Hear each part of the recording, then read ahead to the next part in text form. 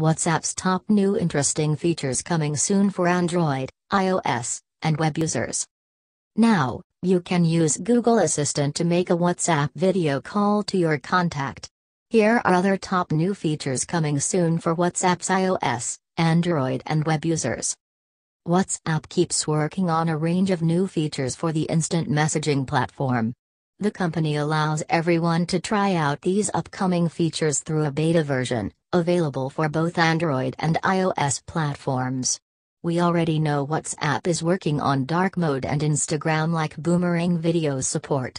Let's take a look at some more interesting features that are coming soon for Android and iOS users. Audio playback for iPhone users. WhatsApp's latest update to its beta app on iOS comes with an audio playback feature. The version 2.19.91.1 allows users to play audio shared via WhatsApp right on the notification pop up.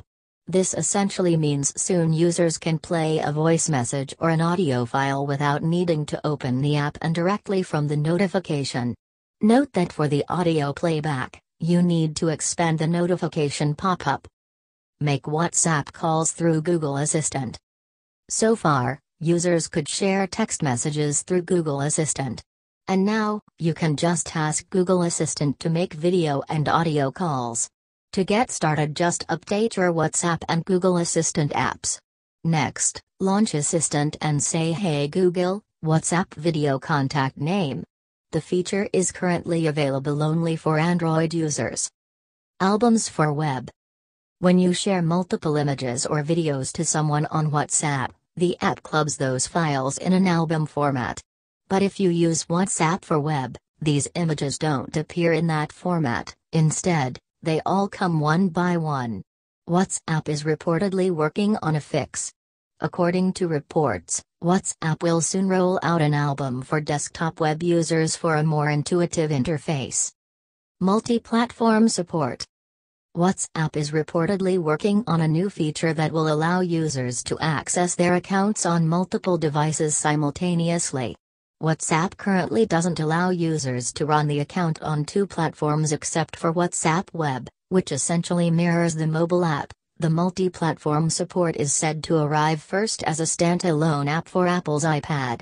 The version will allow both Android and iOS users to access their accounts. Albums for Web when you share multiple images or videos to someone on WhatsApp, the app clubs those files in an album format. But if you use WhatsApp for web, these images don't appear in that format, instead, they all come one by one. WhatsApp is reportedly working on a fix.